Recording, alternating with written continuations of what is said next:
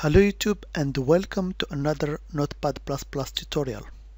So today we'll be talking about a feature that exists in Notepad++ which called find in files. So let's say for example we have a directory for example Notepad++ directory. As you can see this directory contains a bunch of files. We have some text files here we have a db file, ini file, and other files here. So let's say we want to change a text or a word in some over of our text. So first of all, let me search for words in these uh, files. So we can do that using Notepad++. Okay, so first of all, you go to the search menu, find in files.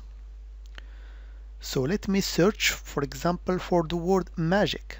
So I will type here my word, which is magic. I will specify in which file I have to search. So let's search in all the files.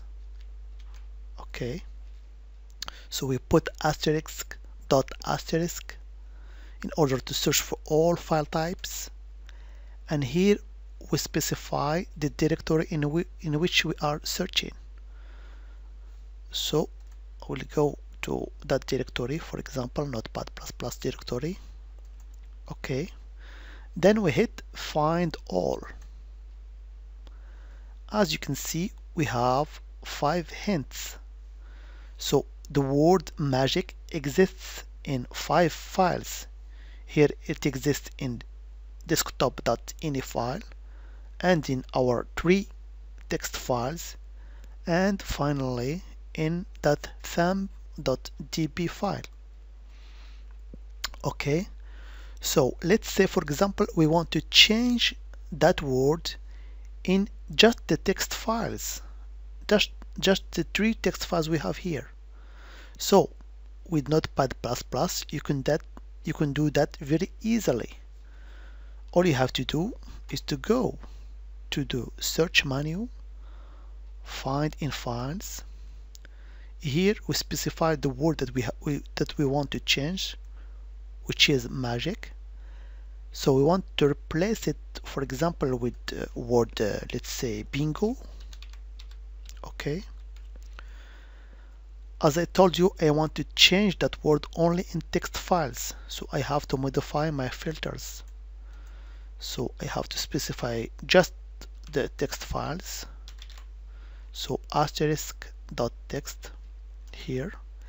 And here we leave our current directory. So it's very easy. I just told notepad++ to change the word magic in all the text files with the word bingo. And notepad can do that without even open the files so we just hit replace in files okay?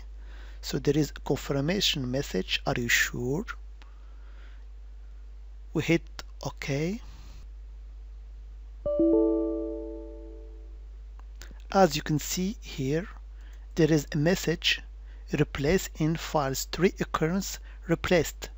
So we have just replaced the word magic with the word bingo in our three text files.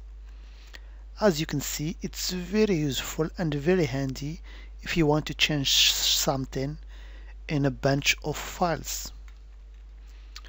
I hope it has been informative for you and I want to thank you for viewing. Bye bye.